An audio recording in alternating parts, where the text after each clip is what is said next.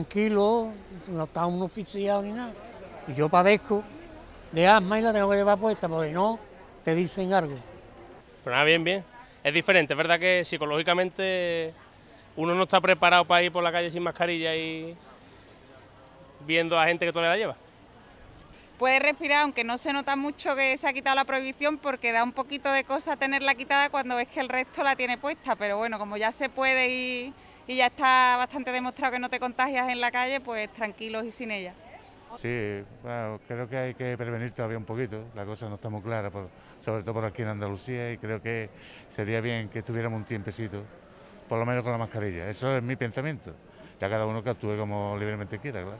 pero no. Todavía evita. Tengamos el verano tranquilo para que el invierno sea mejor.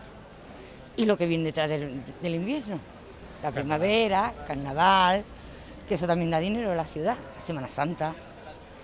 Vamos a esperar un poquito. Vamos a ver si cuando pase agosto ya nos podemos quitar la mascarilla y, y sonreírle a la vida ya entera.